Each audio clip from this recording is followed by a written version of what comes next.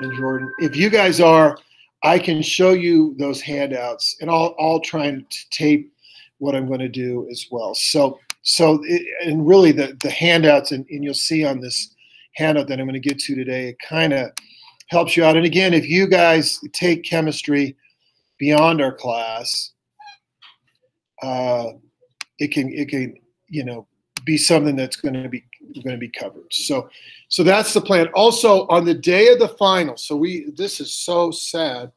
So we've only got we got today, we got Tuesday, and then I think our final. I'll look it up. I got it here. So our final is a week from tomorrow. Jonah, this is it. We're almost there. But on that day, there's a uh, there's a resource period uh, on Friday, May 21st, from 11:30 to 12:30. To me, that if you don't want to be here, you don't have to be here. And if you want to be here, you can. But uh, that period, if you want to come in, but the test starts at 12:40, and I do need you here at 12:40. I think this test. I think what Dr. Page, Miss Kaylee said is that you've got to be here for an hour. And I think the test will probably take you close to an hour. And but but if it get it's been an hour, so if it gets to um, 140 and you're done, then you I, am I right about this? Yeah, that's not all done. Yeah, and so and so, but it, but if believe me, if it takes you more than an hour and you want to stay up to 240, and that could happen, I'll be here. I'll be here, and you guys can do that, and that will be it. And, and uh, so, anyways, that's what's going on. So, any any questions there on that? Okay, so let me just quickly go through this. And Rex, I think you were the only one. Were you here, Carson, on Tuesday? Tuesday. What was it? It was AP Spanish, wasn't it? Yeah. Did you have AP Spanish? No, no. Okay, so I'm just Rex again. I've recorded this. I'm recording today too, but what we're what this is about, this is about nuclear chemistry, and I didn't give you any handouts. Now remember, you can use your book, you can use your notes, you can use the worksheets. You can't use your friends though. Okay, I'm just I want you to be on your own when you do this test, and that's going to be again the last grade. Everything else is in right now, so you can see your grade. Other than you, Mike, we're working on getting you caught up. Okay, so here are the problems in the book, so you might want to make sure you know how to do those.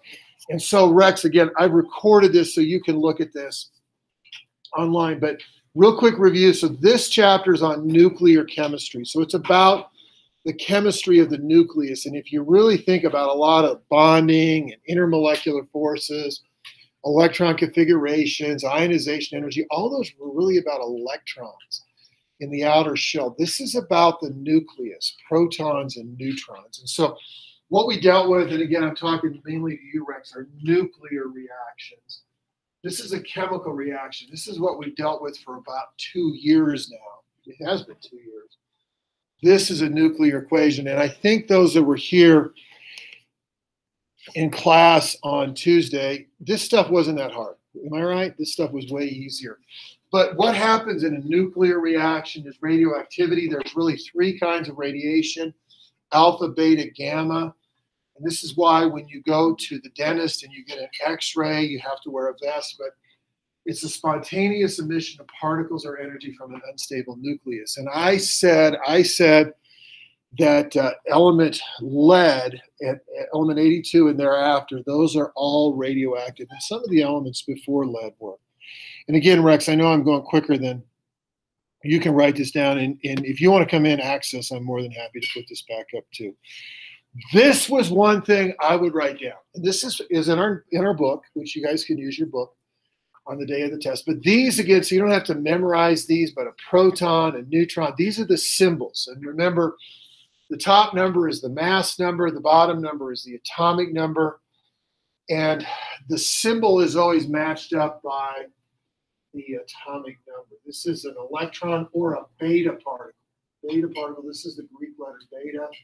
Here's an alpha particle, there's the Greek letter alpha. So again, this list is a list you don't have to memorize. This is where you can use your notes uh, for that. And that is definitely on the test that we'll take next a week from Friday. There are, I think there's five or six of where we'll be using these. And so to have these in your brain would be a good thing.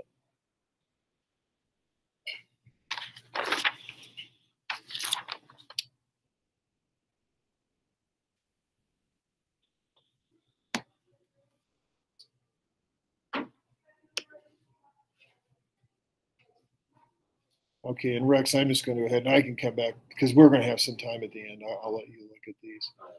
Um, okay, and I skipped that. Now this page we did, and again, Rex, I can let you can look at at my notes, but this is something. Again, it's not hard. As a matter of fact, I think most of you would say, after we all this complicated stuff we have done for months and months and months, this is way easier. But writing nuclear equations, and so that is something that you're going to need to be able to do. So we did those, and again, there's some more of those in the book. And again, Rex, you can look here. As a matter of fact, I'll show you. I'll let you look at my notes here when I'm done. Okay, and then I skipped some pages. Just trying to get to the stuff I feel like the main stuff. I did talk about this briefly. This is the radioactive decay chain for uranium, and I talked about the history. Do you remember what I talked about with the history of uranium and Highlands Ranch? A little bit more uranium under the soil here, which means this byproduct, radon, this is the reaction series. Radon's a gas, and a gas can come through uh, cracks in the foundation of your basement, and that gas can be can be harmful or dangerous if it's ingested. And that's why when you're buying a new home, when you're buying another home, that's always one thing the inspector looks for. Okay, and then Rex, this was all review. So this page here, and there's a couple of these on the test. So this was just like first order kinetics. Okay, and, and so you want to make sure, and again, I can show you, Rex, what I've done in my notes, but you want to make sure, get a couple of those on the test, which again is all review. And that's pretty close to where we got. Okay, and then uh, we I talked about carbon 14 dating. You don't need to know how to do that, but I did do this problem, which was exactly again that first order kinetics. Okay, so that's where we were, and then I talked about the Shroud of Turin. Remember what I said about the Shroud of Turin? What did it, what did investigations find? It was not the uh, it was not wrapped around Christ after he had been crucified, because it was dated. There was three different labs separately that found it to be dated about the 1300s. So, okay, so that's where we were. That's what we did on Tuesday. Okay, now the new stuff. The stuff. First of all, this I'm not going to go over. But this, remember, I said radiocarbon dating has was good for about 50,000 years, but there there are some assumptions with that. So, one was the same amount of cosmic radiation coming in from space at that was kind of consistent in that. There's no way to affirm that or not. Also, the ratio of carbon 14 to carbon 12 in an organism to be the same as it was. Again, I'm not. There's nothing on our test about carbon 14 dating, and there's also nothing about this. This is about how to date rocks. I always wondered, you know, Luke. I hear okay, they say that this rock is three billion years old. I'm like, was there a newspaper or how did they know that you know? Well this is kind of how they do it. They do it with potassium and argon but they use the same principle. They still use the first order kinetics but this is not other than doing first order kinetics problems that is not on our test. This though is. Uh, so I, I would write this down in your notes. There is going to be one question on your test on this. When a new element somebody should google this. What is the most recent element, and it's no longer discovered. It is uh, it is made, is synthesized in a lab. And uh, like on this periodic table, which the class again, when I retire, t- technically I'm not, as far as I know, I think I'm going to be back here next year. This, so juniors, if you need anything next year, you feel free to come and see me. I'm going to be doing the same thing. I think Dr. Page has told me this year that I did last year, which is I'm going to be here on even days, two, four, six. I'll be here Monday, Tuesday, Thursday. This year, there was like almost 40 of you guys signed up for AP Chem. You guys are way more courageous. Next year, I think there were only 23. A bunch of, what a bunch of weaklings. I know. Yeah. How many are there, Mr. Woods? Did you tell them how hard it was? Did you ruin it? Maybe. Maybe you did. Maybe. And you probably wouldn't be lying, right? Hopefully, you did tell them there were good jokes coming their way. Yeah. With all the hell of chemistry and having a an ugly looking teacher, you, you did get good jokes. But but uh, uh, the plan is is I'll have one AP and two chem, so I'll be here. So if you need anything, But that that periodic table was given to me by the class of 2017. When I do retire, I'm taking that home and I'm putting it up in my basement. But if you look on our periodic table, it's actually that one. If I'm looking in the bottom right hand corner, you see 113 NH, 114 FL, 115 MC through 118 OG. But technically, when a new element is now made, it's made in a particle accelerator. It Doesn't happen that often. I'm not sure what element they're up to. Somebody should Google it and see. But technically, when it's first made, if you look on the periodic table that you guys have used all the way through the year, so I'm looking right down here at element 110, 111, 112, 114. You see UUN, UUU, UUB, UUG. I'm sorry, UUQ. Where that comes from is this. And I do have a question on the test on this. I, I don't know. This to me, it's kind of interesting how they do this. But these, uh, are, these are the kind of prefixes or names that go with these numbers. And so if we were going to ele- or name element 113, so what I do is the one is un, the second one is un, and the three is try. So un, un, triumph. And, and so what has happened since when they were first, when an element was first made, again, they don't discover elements, and when they went to the moon, and I think two on Mars. Now, a human being hasn't been on Mars, but they have had rovers on Mars, and they examined the, the soil and the and the atmosphere, and there's not new elements there. There's they haven't discovered any new elements. But uh, like let's say 118, and now they've given him like 113 is NH, and I probably can't even pronounce its name. Diholium, probably named after some famous chemist. But let's say 118. So 118's name. So one un, one un, eight ot. Un un otium which probably its symbol was UUO before they gave it a name. So if we name the element 180, so 1 un, 8 ot, 0 nil sounds like a soccer game. Un octillion. Okay, so that's how they go. When an element again is first made, produced in a lab, that is how that is how they name it. And that is why, if you look on the periodic table that we've been using all year, that how that is how that works. And, most periodic tables are like that. Okay. The last thing I want to talk about in the, the chapter on nuclear chemistry. So we had nuclear equations. We've got again this naming process for newer elements is the difference between nuclear fission and fusion. So, real quick, the, this is a particle accelerator right here. This is outside Chicago. Fermilab particle accelerator. It goes for many miles. Looks like a racetrack kind of. It's a big building where they smash atoms together. Okay, the last thing I want to talk about, because I have a question like this on the test, is I want you to compare and contrast nuclear fission to nuclear fusion. Nuclear fission and nuclear fusion. So I'm going to kind of give you today, again, because we're just really trying to talk about the very basic things here. So, nuclear fission.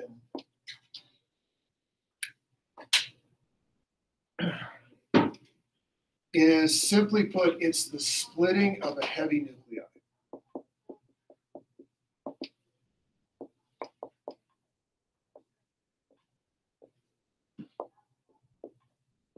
A splitting of a heavy nucleus.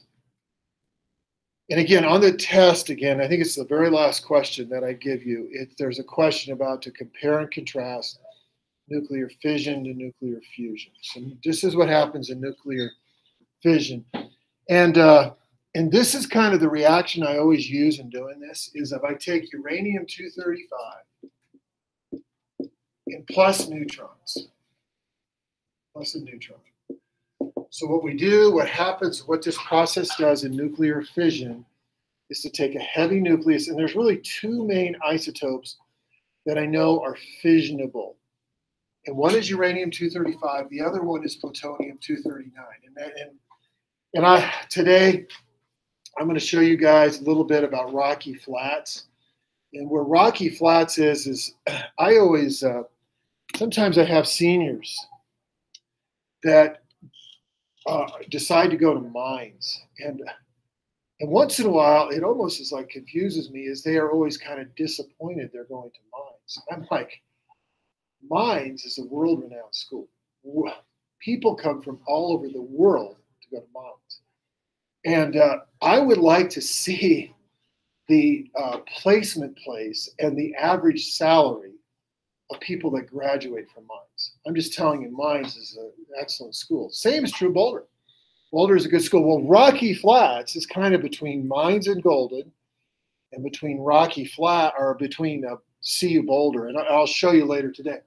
But there they made Rocky Flats. They used to. They don't do it anymore. They made triggers for nuclear bombs. But these are the two fissionable isotopes. Well, what this gives off is radioactive fragments.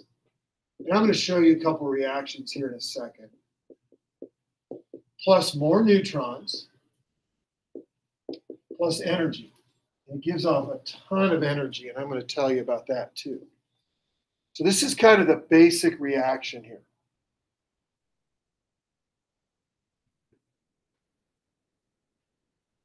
What's Tyler and Lorik doing right now? I think they're Zion, Alan, they sound asleep.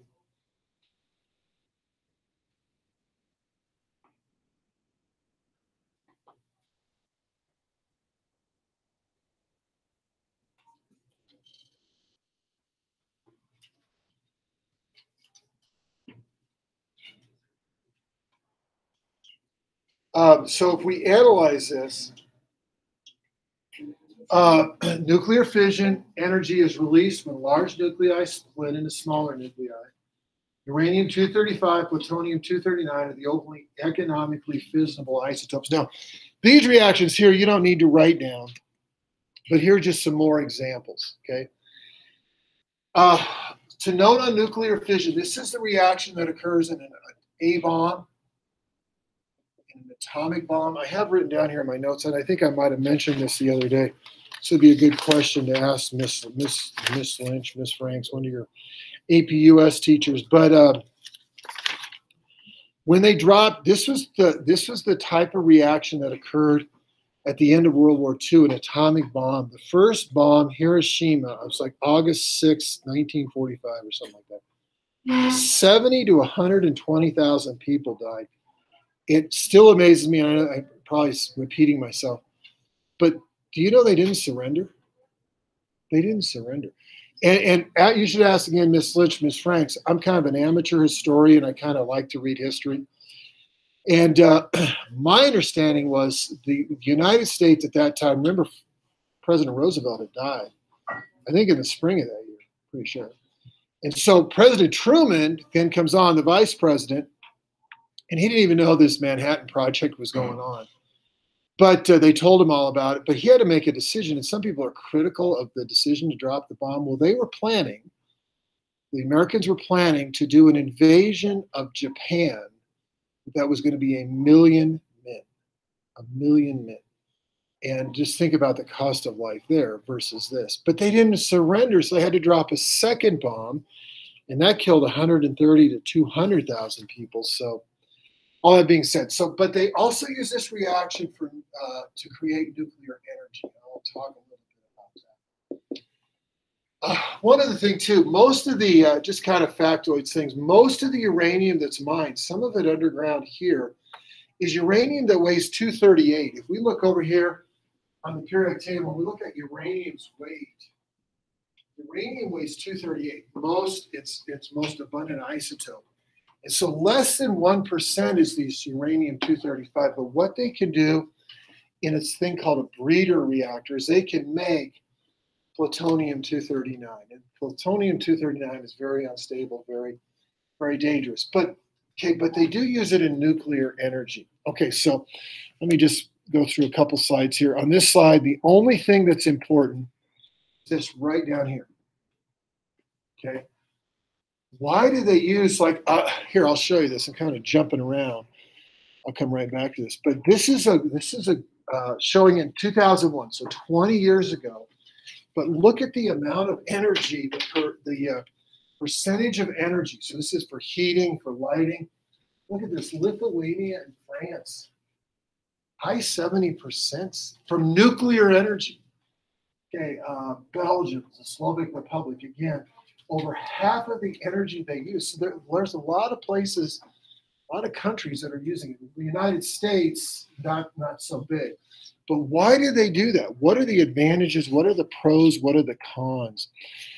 And one of those is right down here. So here are here are the pros and the cons of of nuclear fission. So the pros and the cons.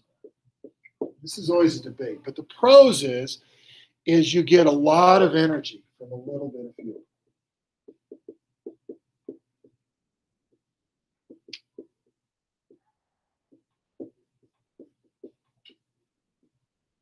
And look at this this fact down here. One ton of coal, one ton of coal produces eight times 10 to the seven joules. Therefore, one mole of uranium 235. So compare that one mole, so 235 grams versus one ton produces the equivalent energy of 250,000 tons of coal. That's why those countries use nuclear energy because they get so much energy from so little. And there's plenty of uranium. And again, the, the more abundant uranium, the uranium 238, it itself is not fissionable, but in these things called breeder reactors, which are kind of controversial themselves, they can breed or they can make uh, or plutonium 239. But there are cons, and one of the, the big cons is the disposal of the waste. So, and, and what that is, is this right here, radioactive fragments. What do you do with that? And it's like, so let's say I'm up here doing some problems and I got some paper that is scratched on now. So I just take it, I put it in the trash can. The custodian comes tonight, he or she puts it then out in the trash can outside. They come and take it away. They put it in landfill. Nobody's harmed. Well, this is if you're exposed to this, and some of these have half lives, some of these isotopes have half lives, short half lives of, of minutes or hours, but some of them have half lives, meaning they're radioactive for tens of thousands of years. What do you do with that? Disposal of waste. Well, in the United States, back when Ronald Reagan was the president, so back over 30 years ago, the plan was to bury the waste north of Las Vegas about an hour, and they never have. So all this waste is just sitting at these nuclear power plants. In Colorado, we do not have a nuclear power plant. We have natural gas. But in the eastern United States, on the west coast, they do have nuclear power plants. So what do you do with the waste? And another thing is the fear of an accident. And today, I want to show you. I'm just again, I want to still teach you guys some stuff, but I I will stop and I'll talk about show you a couple little videos on Rocky Flats. And on Tuesday, I'm going to show you a couple things on Chernobyl. Okay, and the problem here is that this this reaction produces neutrons, but it also uses neutrons. So there can be a chain reaction which can get out of control. And actually, what they put in the reactors are these things called cadmium, cadmium element number uh, 48 will absorb neutrons so they can control the reaction. Well, at, at Chernobyl back in, I think it was 1986, they lost control. And we'll talk about what happened there and even what it's like there today. Or I'll show you some some YouTube videos on that. So that's that's nuclear uh, fission. So this is a reaction that again, here's a I don't want to spend time, but that's how a nuclear reactor works. Talked about this. Hazards of nuclear energy. Where do you put the waste? This again is that place in Nevada where it's proposed to put the radioactive trash, Yucca Mountain, Nevada. Um, and then accidents, Chernobyl, and then this is the reaction that occurs again in a nuclear bomb. Okay, now compare that to nuclear fusion. Okay, and, and uh, fusion is the combination of two light nuclei. So just looking at this again to compare and contrast, well, fusion is when you take a light nuclei and you combine it. And this is always the reaction that I always write down in first year chem. And for us, if you write down this one, this one works. The other ones are, you can write down too, but there's so there's difference. Okay, so fission is taking a heavy nucleus, bombarding it with a neutron, and it splits and it gives off tremendous amounts of energy. Fusion is taking two light nuclei and combining them. And if you look at this, like these two here, and you can see the ones I've got up there, these are isotopes of hydrogen which are heavier than normal. Mr. Wood, Yeah. can you lower the camera a little bit, please? Yep. So these are isotopes of hydrogen which are heavier. So when they talk about heavy water, they're talking about water that has these isotopes of hydrogen. This actually gives off more energy. Fusion actually, so how are they the same? They both give off tremendous amounts of energy, but they have different chemistry going on. This actually is a reaction that occurs on the sun. But the problem with this is this requires millions of degrees of temperature.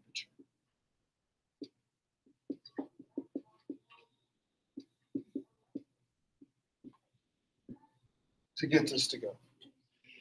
And there was actually a story, and it was probably 25 years ago, something like that. But there was two scientists at the University of Utah who thought that they had discovered what was called cold fusion. Because if you can figure out this as an energy source, which I don't know if they ever will. My lifetime is, of course, not nearly as long as your lifetime now, but in, in my lifetime or in yours, if they'll ever figure out this this concept of cold fusion, it could kind of change the political dynamics of the, of the world because if you look at this, there's no radioactive waste. You're using hydrogen, which is in water, so you've got an abundant supply.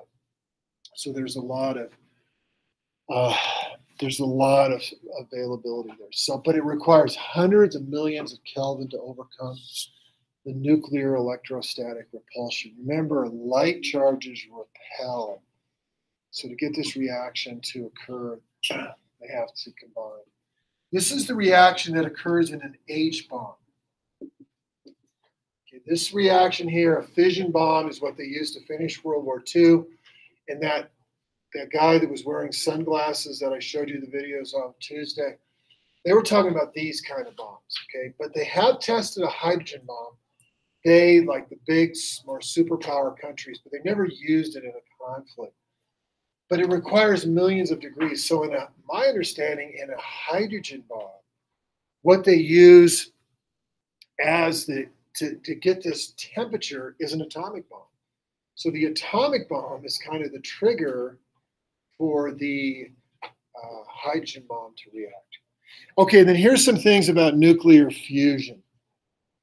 The advantages, there's lots of available fuel. Water, hydrogen, okay? It's 70% of the planet.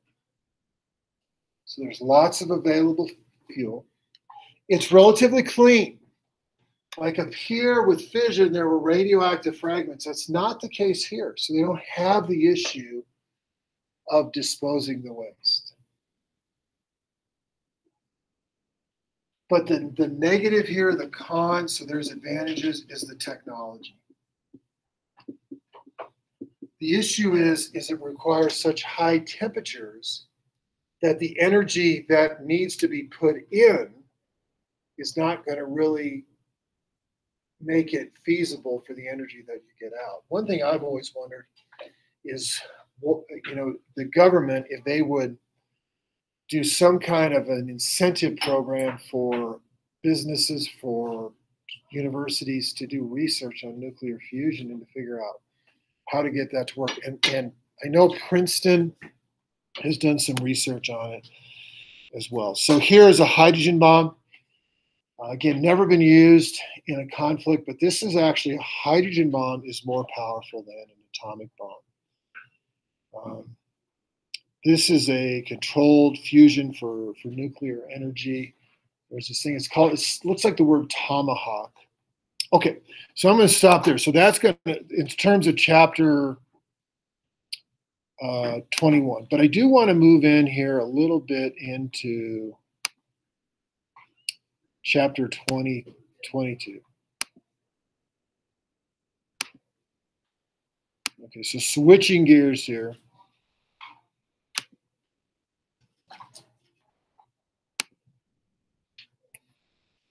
Ryan, can you see that? Yes.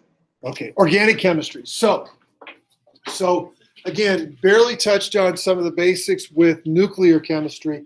Okay, now organic chemistry. So, depending on how you guys did on the AP test, the next class you would take beyond our class in terms of just chemistry would be organic chemistry. So, technically, as a junior, because we don't have any, we, this is it for us. I mean, we have ChemCom, regular chem, and and AP Chem. So you guys have climbed the hill with chemistry. But if you guys wanted to take organic chem next year, you could. You'd have to go to a university to do it, and uh, the the the district would pay for that. So I'm just throwing that out there if you want to uh, to do that. Now I'll tell you because I got a I got a BA, not a BS, but I got a BA in chemistry. My first year, I did what we have done this year, but at a college level. So I'd be really interested, you know, when you guys, you know, you go to college and you come back like Luke. I don't know if you took chem or not. Did your did your sister um, did she take chem? I wonder how it went. She's got two. Emily's got two right now. So I, I just be interested. I, I, of course, it's always my hope when you guys get in there. Uh, if you take it at a college level, you go, you know, gosh, a lot of this stuff we've already covered you know, and obviously some of it will be new, but but that's first year chem. So you do three hours of lecture, three hours of lab. So you go Monday, Wednesday, Friday for like an hour lecture, and then you go for three hour lab on Tuesday, Thursday, five credit hours. You do that the whole year. I don't know if Seth did that. He did. What's he? He's majoring in like mechanical engineering or something like that. And I, and hopefully it went well for him. He's now he's a sophomore. He's finished sophomore. And Emily's finishing her freshman year. Yeah, but Right. So nice. But then second year, second year, you would take a year of organic chemistry. This is if you're somebody that's going into medical field, going into engineering, mechanical engineering, like Luke's brother, uh, or like biomedical, or, or something to do with that, or engineering, or chemistry. And so second year is organic chemistry. Same deal. Three hours lecture, three hours lab. So Monday, Wednesday, Friday, three hour lecture, three hour lab on Tuesday or Thursday, five credit hours, 10 credit hours for the entire year. And some people that have had organic chemistry, that I bet Seth didn't have to take organic chemistry. No. Uh, especially more if you're going into a medical field, you will. I actually really liked organic chemistry. I thought it was it was my favorite class in college, as weird as it sounds. Some people have probably told you it's like awful. I will tell you, I will tell you that in our class, so many times we always would get out the calculator and we would calculate over and over and over again. That never happens in organic chemistry, never once. It's more kind of a learning style like in biology where there's memorization, knowing processes, knowing reactions. Uh, and then just real quick, so then what I did in my first semester junior year is I, I took analytical chemistry, which again was lecture and lab for a semester. And then my second semester of junior year, I took, I think to me was my hardest class, which was physical chemistry, no lab, but it was kind of calculus and chemistry and math and chemistry. And then senior year, I took biochemistry and I did the same thing, lecture and lab for the whole year long. To take biochemistry, you got to take organic chemistry. You cannot take biochemistry without taking organic chemistry. But uh, organic chemistry, so so in you know 15 minutes today and in a half hour on Tuesday, obviously I'm giving you the very basics. But I think to me it's kind of cool, and we since we have some extra time, again, if you guys go into one of those fields at least, you know, some of these handouts I've given you, might be worth just setting aside and when you get into, you know, college, you're getting these out at least have a little bit of a starting point. But chemistry, organic chemistry is a chemistry, the study of carbon containing compounds. I have in my notes, there are 16 million organic compounds. So a huge number. Of course, when I go to the grocery store, I never get any organic foods. You can tell. But or what does it mean, organic foods? Uh, it means they don't involve synthetic inputs like pesticides or chemical fertilizers, but it's all about carbon. So if we go back to the dot structure of carbon, remember carbon has four single dots. Remember we talked about the hybridization of carbon into sp3 and the promotion and all that happened. But the key is, is that carbon can form four bonds.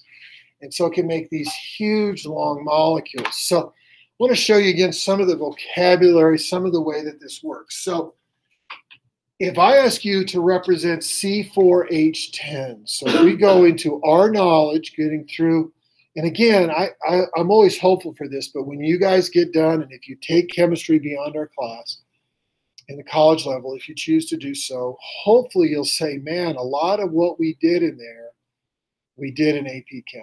And, and, and of course, being at a college level, it's going to be a higher level and there's going to be stuff that we didn't cover. But if we did the dots for C4H10, so I've got four carbons with four single dots.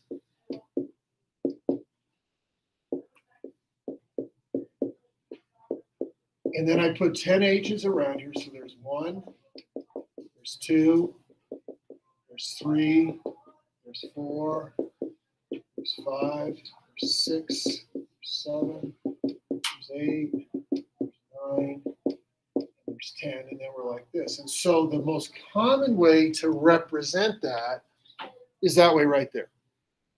But in organic chemistry, there's actually multiple ways. And again, if you do get to where and even if you guys say that you know you do really you did really good on the AP test hopefully you did and you get your results back and you got a good high score in the AP test and when you go to college and you want to major in one of these science things they may give you credit for a semester or a year and you may go boom right into organic chemistry well your professor he or she will and, you'll have to see what they say. But all these are equivalent. All these mean are, writing the same thing. So can write this C4H10. This is called butane. You can write it like this. You can write it like this. You can write it like this. And this way also, because it's assumed that these carbon chains are surrounded by hydrogen. So the main thing in, in organic chemistry is these things called hydrocarbons. Hydrocarbons. So it's hydro for hydrogens and carbons. And so that the assumption here is that this is just surrounded by hydrogens. And then even this, and you go, man, that looks just like a squiggly line. It looks like a mountain. Well, in, in chemistry, organic chemistry, where it occurs is a carbon. So all these, and again, when you guys go to uh, when you when you go to college, you're or if you take if you were to take this class, organic chemistry, your professor would he or she would show you what is expected. Okay, and there's two main big categories. Saturated hydrocarbons and unsaturated. Whoops, I'm sorry, I got one ahead of myself. Saturated versus unsaturated. Today, and again, I want to do because I, I still want to go a little bit longer, not too much longer, a little bit longer. And I want to talk today about how the naming of saturated hydrocarbons work. And saturated hydrocarbons or bonds are all single bonds.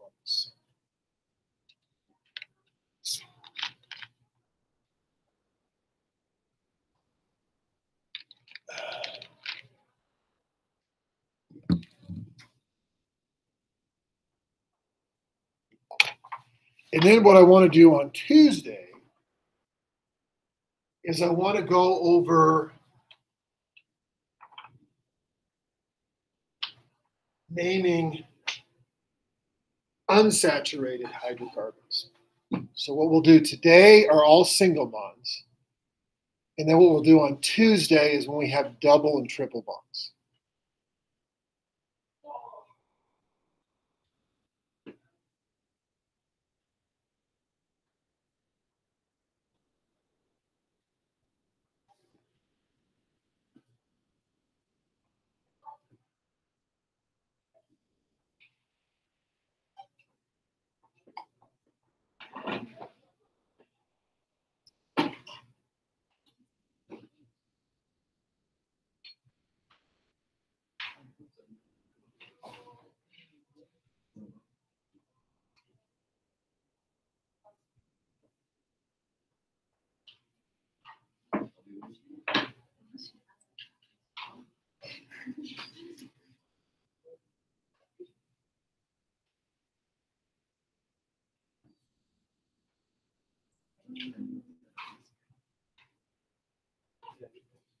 Okay, here's another little factoid thing like uh, so mono unsaturated would mean one double bond, one single or triple bond. Polyunsaturated would mean two or more. But in eating foods, if you look at labels, polyunsaturated foods, polyunsaturated foods are they lower the risk of heart attacks. So foods that have more double and triple bonds. Examples of those are nuts, fish, leafy greens. Those are healthier for us. Okay, now here's another list that might be in our book, but it's worth writing these down because of the prefixes. So what we're going to work on today is naming uh, alkanes. These are all saturated hydrocarbons, meaning all there are are single bonds. I used to remember what IUPAC means, but it's like the international naming. Okay, so these are the names, and what's important here are the uh, like one carbon will always have the prefix METH, two carbons ETH, three carbons PROP. And since these are all saturated, they're all meaning they're all single bonds. These are all in and AE. So I this would be a good list to write down.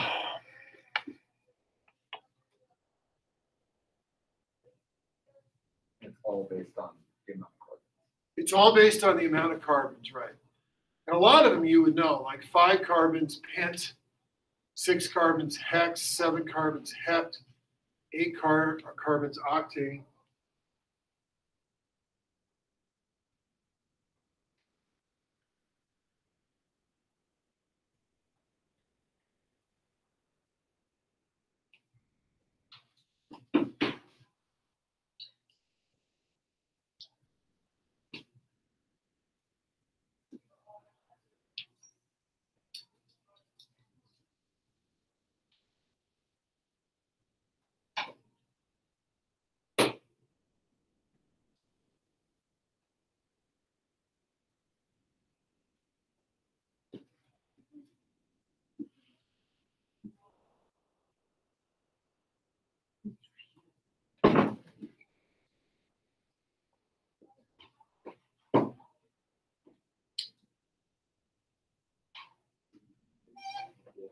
But what you'll see is when there's, and and I'm going to show you kind of the next thing here, which is we're going to be naming these hydrocarbons. Like I'll show you, here's an example. So when you guys, when we go get gasoline for our cars, I hear that's not easy in some places in our country right now. Gasoline for our cars, but uh, we put in octane. And this is the chemical formula actually for the octane.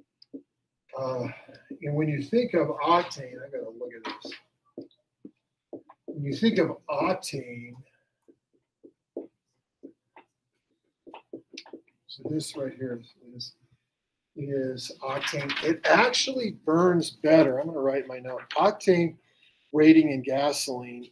This is called. It's it's kind of its uh, common name is called called isooctane, and I'm going to show you the name of this here, the technical name to to uh, do this. But if you guys go like like what I always do when I get gasoline, I always get the regular. I don't know about you. It's the cheapest one of all. I don't know what your parents, what you guys put in their car. My uh, years ago, my in-laws used to live. I love my in-laws, but they lived in near Philadelphia, kind of about an hour west, out in Amish country in Pennsylvania. But my sons were then kind of middle school, and we said, hey, let's go to the Pro Football Hall of Fame. So we drove all the way across Pennsylvania to Canton, Ohio. The Broncos used to have Hall of Fame players. We don't have too many of those anymore. Von Miller, he's at the end of his career.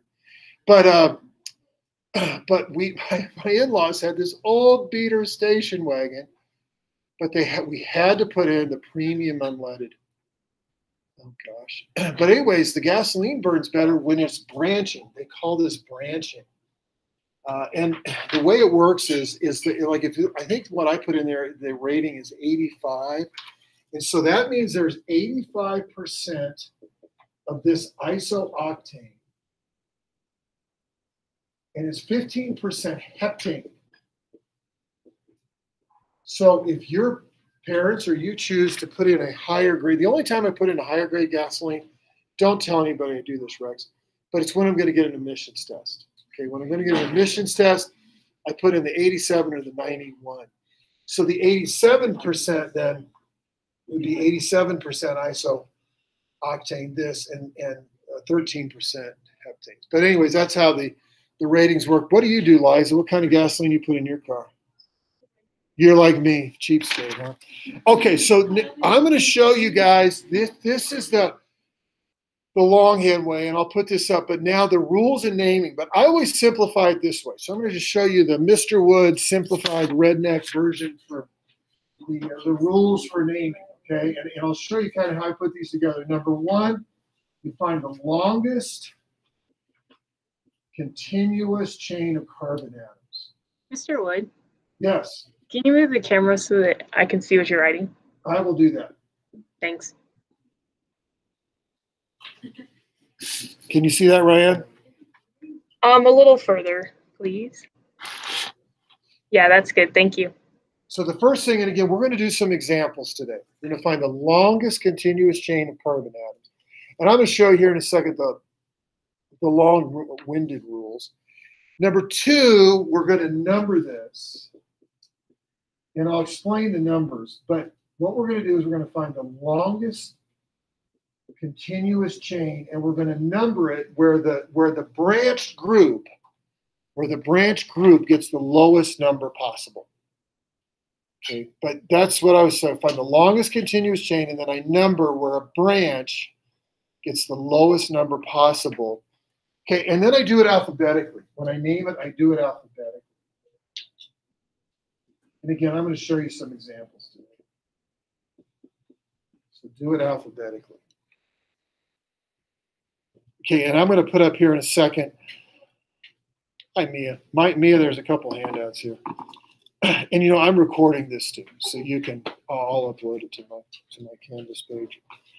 But uh, so I'm going to find the longest continuous chain. I'm going to number the change so the number of carbon atoms gets the lowest, the, or the the substitute groups get the lowest number possible, and I do it alphabetically. So if I go here, and again, I'm going to put up the rules, and I'll, if you care to write them down, you can. But I want to find the long, and it doesn't, now, of course, we're always used to going left to right. Isn't in Japan they read right to left? Am I right? Am I right? I don't know. But here, it doesn't matter or left to right or right to left. So here's a chain of five, but this could be a chain of five. I could go like this could be a chain of five. I want to find the longest continuous chain, but they're all five. So I'm going to make this my longest chain. So here are the branch groups. So the way I named this, this is how I named this. This is isooctane, but here's the actual organic name for this. So I go two comma two comma four. So if I can number the carbons, one, two, three, four, five and then dash and then trimethyl. Where the trimethyl, because there's three of them, and with one carbon, that substitute group is get- going back here. It was um, one carbon was methane, so methyl. If it's two carbons, it would be ethyl as the, the substitute groups. Three carbon propyl. Mr. Wood, can you move the camera again? Say say it again, Jonah. I couldn't hear you. What's that? The twos The twos came from here. So the one, two, three, four. So off the second, so off the second carbon, here and here, and off the fourth carbon was the branch. Okay, and I'm going to do a bunch, Jonah. That's a good question. And then finally, the the the the backbone name is pentane. So so and Joan, I don't know if I'm answering your question, but the twos come because off the second carbon, there's two methyl groups. And off the fourth carbon, there's another methyl. So trimethyl. So the reader reads there's three methyl groups, two of them are off the second carbon and one off the fourth. And then the backbone name is pentane. And again, I want to do a bunch of these. Let me put this up though. So here, here are the rules. And I kind of, again, to me, if you follow the Mr. Wood redneck thing, this will really get us through this. Okay, so let me put this up, but I'll kind of show you. And if you guys want to copy this down or take a picture of it, it's fine with me. But what I did for my rule one, the longest continuous chain, is I really put two and three together. So if there's no branching, it's named after the number of carbon atoms, but we're doing branching. Number three, if branching exists, it's named after the longest carbon chain. So the first thing we want to do is we want to find the longest continuous chain of carbon atoms. Okay, then we want to number the chain, and this is where kind of rules four and five go. So you want groups on the chain, I just call them substitutes. A substitute is saturated hydrocarbon. It ends in AYL. That's why this was methyl from methane, one carbon. If it had been two carbon group and it had been saturated, it would have been ethyl. If it had been a three carbon group, it would have been propyl. Four would have been butyl. And groups along the main chain are located and named by a number. That's what Jonah asked about. And you number the chain so the first substitute gets the lowest number possible. So it doesn't matter left or right. It matters which which substitute gets the lowest number possible. Rex. So is the two two four part of the name? Yep, this whole thing. This this Rex means the same thing as this. This is just the common name for that. Kind of like water is dihydrogen monoxide, but we call it water. Well, everybody's so familiar with this because it's used so much in, in gasoline and cars, they call it this. This is really the organic name of that. Okay. And then punctuation, again, I'm going to do some examples here today, but you go number, comma, number, letter, dash, number. And notice what I did here. With the numbers, I did commas. And then when I go letter, number, or number, letter, I do a dash. Okay, so then, and then, and then, so I find the longest continuous chain, I number the chain where I get the lowest possible number for a substitute group. And then I name it alphabetically. So if I have a methyl group and an ethyl group, I'm going to name the ethyl group first because I do it alphabetically. Okay, and all that is just a bunch of words. We need to do some examples. That's what those handouts are.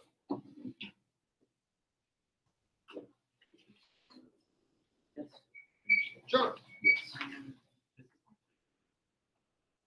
go ahead. What's your question?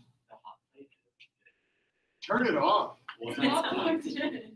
Is it unplugged? Yeah, And it's still getting hot? it's just warm. I have no idea why. It should be on. Push it back, push it away from me. I don't know why that is good. Okay, so I am going to, and, and if, if you guys want, I can put these notes back up, but for right now, I'm gonna turn these off. Okay, and Ryan, I'm gonna bring the computer over here now. These, again, are handouts that I didn't put, I thought you were gonna be here today, Ryan. You told me you were gonna be here. But, but anyways, let me, let me come over here.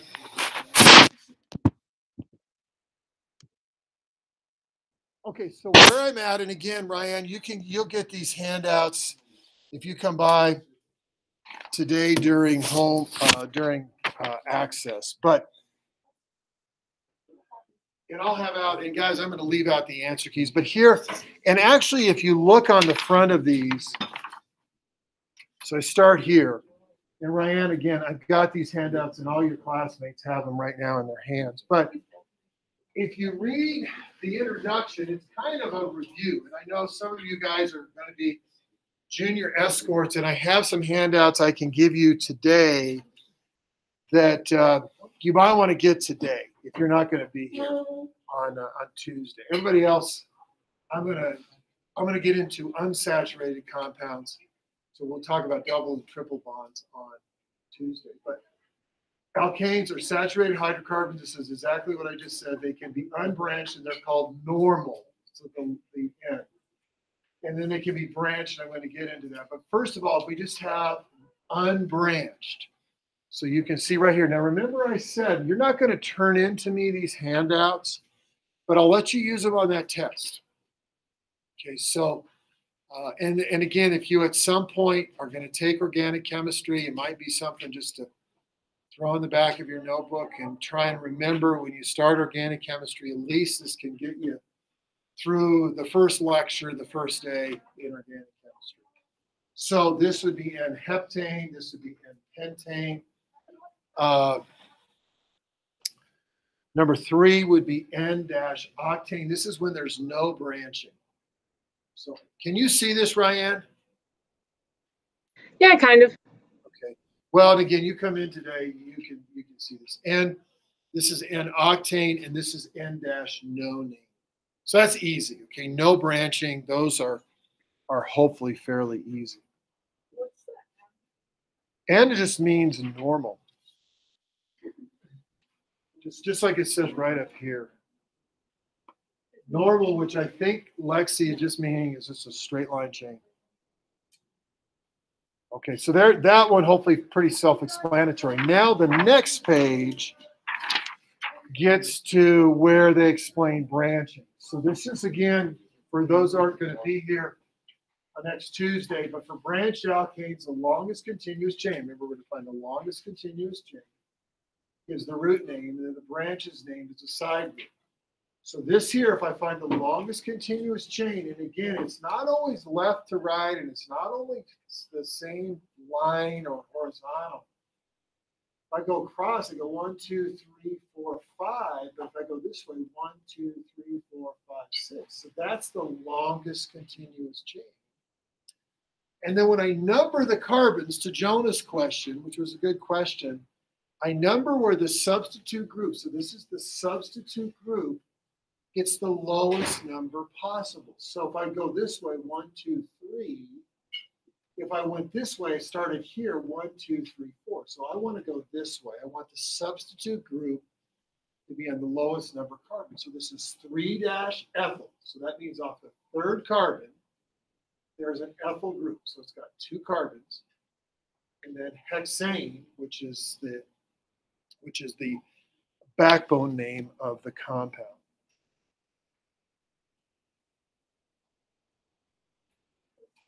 Okay, so let me let me come down here. Okay, so for number one, so I want to again find the longest continuous chain, which this this place or this one, it's pretty self-explanatory. It's got to be right across here. And then, but but my substitute group is right here, and it's got one carbon, so it's going to be a methyl group. But now in numbering this, I want that to be on the lowest number carbon possible. Does mean left to right or right to left. So I go one, two, three. If I go right to left, one, two, three. So it doesn't matter which way I go. So the name of this is three dash methyl pentane. 3-methyl Okay, so so what does that mean? Well, that means the ending kind of tells you the backbone, the chain. So chain of five carbons, and off the third carbon, there's a methyl group, which means it's got one carbon.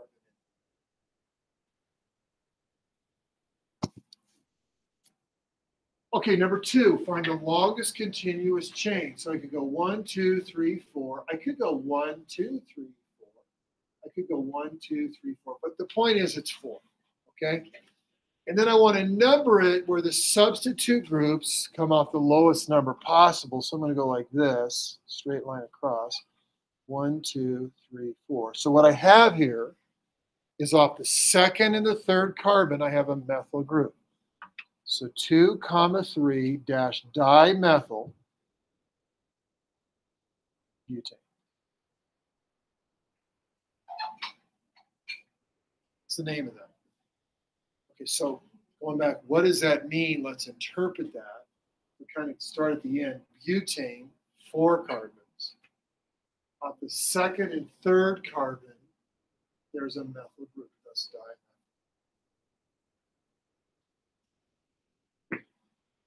Okay, number three. So I find the longest continuous chain. So I go one, two, three, four, but I can go one, two, three, four. So four is the longest chain. Then, so I'm going to go here, and then I want to get the substitute group to be the lowest number possible. So here's the substitute group. Let's see. Yeah, you're right, Lexi. You're right. You are right. I am wrong. So technically, the longest continuous chain is there. Lexi's right. And uh, and so then my substitute group is here. And so if I number the carbons, I can go one, two, three, or one, two, three. So they're both three. So this is just three dash methyl. and then pentane.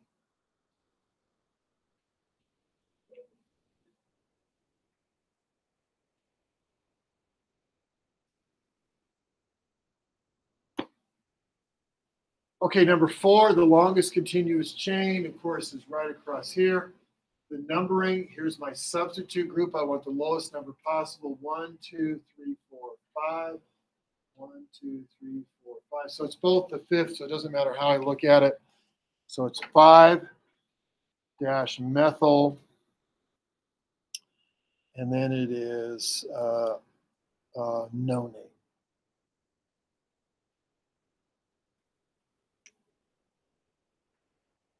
See if you can do five and six.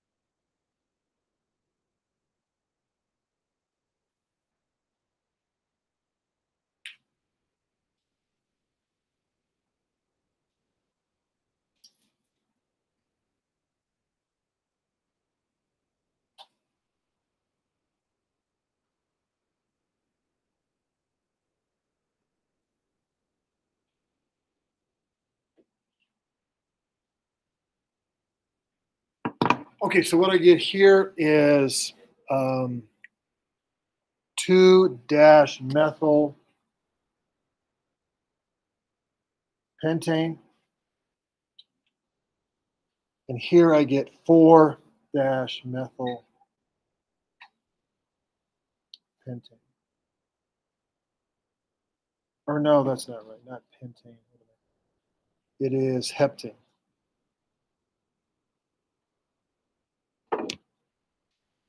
Four dash methyl.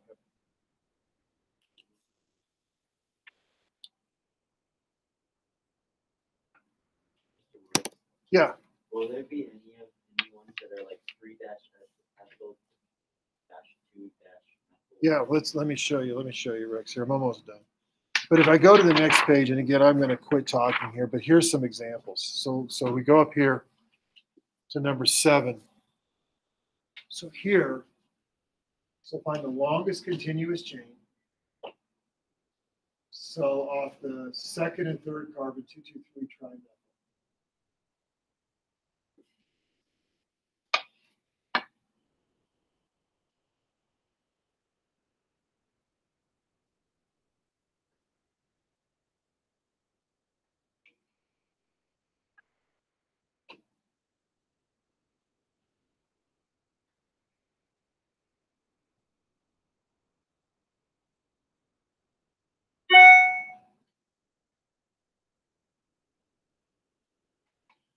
Okay, so then if I come to number eight, so again, I find the longest continuous chain.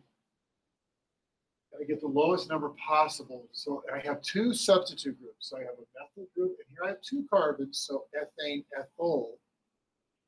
So off the third carbon is the methyl, but off the fifth is methyl. But notice my last thing was go alphabetically. So you find the longest continuous chain, you number with the lowest number for the substitute group, but when you name it, you go alphabetically.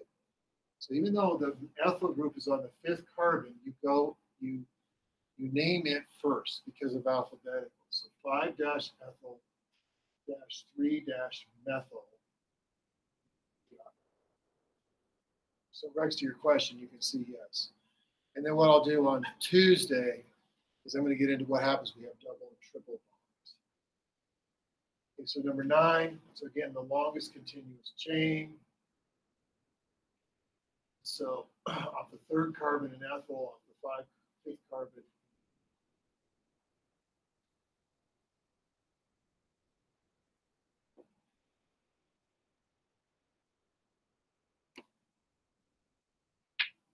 And I, and I, I have the other answers here, and if you guys want to check you can. Thirteen one, comma two, dibromo, so bromine off the first and second carbon, then methane. Here's one with chlorine. So again, find the longest continuous chain, number with the substitute group having the lowest number possible. So if I read this, one comma two dichloro. So off the first, first of all, I guess octane, so I know I have eight carbons. So off the first and second carbon, I have chlorines. Off the second carbon, the third, and two off the third, and one off the fourth, I have methyl groups. Just thirteen. 13 says 1 comma 2 dash dibromo. Dibromo ethane.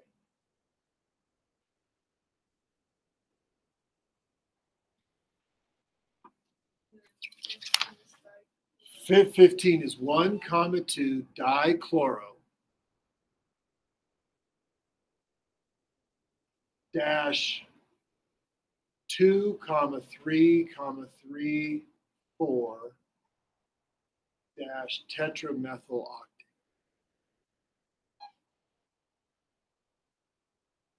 And Ryan, if you come in and access, I can give you all this stuff. Okay. Okay, I'm going to stop there. Uh, what I want to do is, again, I want to show you, uh, and, and I've got, if you care to, there was another handout which was exactly the same thing, but the answer keys are all right here. They're all right here, and I'll have these uh, out today, or if you want to come look at them. Uh, during access or whatever, I have the answer keys for these right here. But what I want to do now is I want to just show you, just to learn a little bit about Rocky Flats.